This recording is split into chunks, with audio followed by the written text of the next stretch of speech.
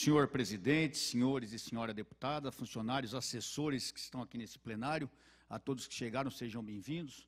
Ao nosso policial, ao nosso policial militar, seja bem-vindo também, bom serviço. Senhor presidente, eu não posso falar de outro assunto hoje que não seja o que está movendo todo o país, a greve dos caminhoneiros. Eu até fiz um vídeo ontem, lancei na, na rede social, porque todo mundo sabe que eu sou contra a greve, sou contra manifestações, pela minha, pelo meu princípio, pela minha formação, eu sou assim. Mas, nesse caso, nós temos que repensar o que está acontecendo.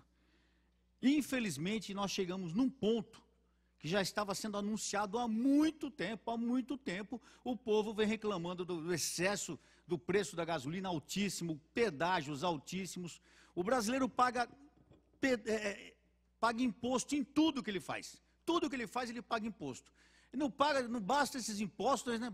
para andar nós não podemos andar. Olha o preço que está a gasolina, o diesel, é um absurdo. Então eu quero dizer aqui publicamente que eu sou favorável sim a essa manifestação, a esse movimento dos caminhoneiros, porque não pode continuar o país assim. E faço voz com os demais deputados aqui. Não é um momento, deputados, de nós pensarmos em ala partidária. Não é momento de falar em partido A, B ou C. Porque todos os partidos estão contaminados, nós sabemos disso. Então não vem querer ninguém dar uma de santo aqui não. Mas é o povo brasileiro que está sendo prejudicado. Hoje, todo mundo correndo atrás dos postos de gasolina, com medo que vai faltar combustível. E vai faltar. Faltando combustível, vai faltar alimento. Me disseram hoje que o Ceasa está às moscas, não tem ninguém lá. Os carregadores que trabalham diariamente carregando material estão todos parados e eles ganham por dia, coitados, não vão ter dinheiro hoje. Agora, a população vai ficar sem dinheiro. Não tendo gasolina, não vão trazer remédio. Não tendo gasolina, os serviços de emergência não vão funcionar. A polícia vai parar. Aí um deputado agora falou, pô, quando chegar no bolso dos deputados e senadores, eles vão sentir, vão sentir já hoje, porque está acabando o combustível para os aviões voarem. Vão ficar sitiados em Brasília. Concordo com a deputada que me antecedeu aqui, no sentido de que ninguém toma uma providência. Vai esperar o quê? Vai esperar morrer pessoas? Vai esperar famílias, pessoas idosas, pessoas doentes falecerem para depois ver o que vão fazer? É uma pouca vergonha isso. Nosso presidente, senadores, deputados, governadores, nós, deputados estaduais, temos que fazer alguma coisa assim. Essa casa era para estar tá cheia hoje. Nós estamos em cinco, seis deputados, sete deputados aqui. Essa casa era para estar tá cheia hoje e todos os deputados exigindo alguma providência. E ninguém está fazendo nada. Parece que não está acontecendo nada. Então, quero deixar bem claro aqui uma coisa. Senhor governador Márcio França, o senhor tem a caneta na mão. Tome a primeira providência que o senhor pode tomar. Abaixe os pedágios. Saia na frente. Os, os pedágios, as concessionárias ganham um absurdo com a cobrança de pedágio. Nós falamos ontem aqui sobre a, a, cobrança de pedágio em motocicletas, o que eu acho um absurdo. Mas em cima dos carros, ontem nós vimos uma entrevista aqui, um deputado colocou, um caminhoneiro falando que gasta R$ 7.500 por mês de pedágio. Gente, isso é um absurdo, gente. Eu, e depois a gente vê no jornal aí o quê? Dinheiro sendo doado pelas alguma concessionária, 30, 35, 40 milhões para a campanha de governador. Da onde está vindo esse dinheiro? Do bolso do povo. Então, senhores e senhoras, eu quero dizer uma coisa: o povo vai sofrer? Vai. Mas eu queria pedir a todos que tenham paciência, que ajudem nessa situação, porque é o único jeito do governo, principalmente o governo federal, pôr a mão na consciência e ver que tem que mudar. Nós não.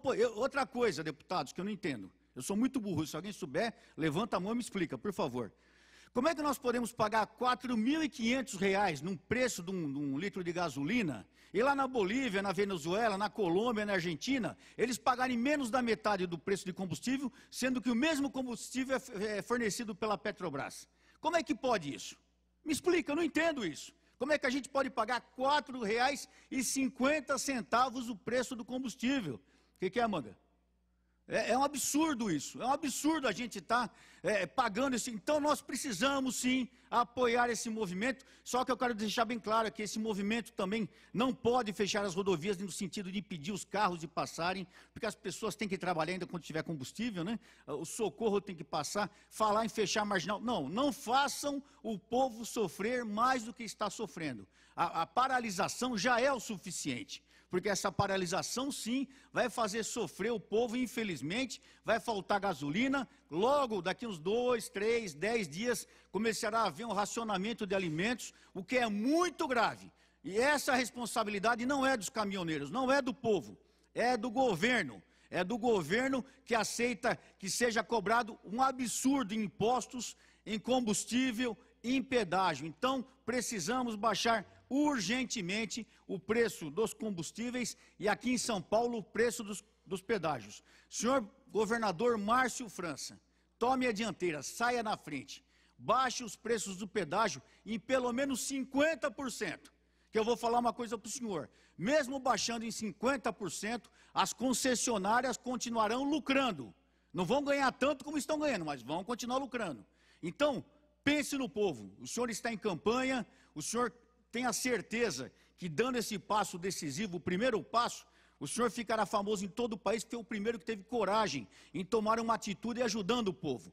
E os senhores que são deputados, como eu sou aqui nessa casa, nós temos que pôr a mão na consciência e lembrar que nós temos que vir aqui todos os dias pedir uma atitude do governo. Porque o povo não pode continuar sofrendo o que vai sofrer com a falta de combustível, falta de alimentos, falta de socorro, falta de polícia. Nós precisamos mudar o nosso Brasil. Muito obrigado, senhor presidente.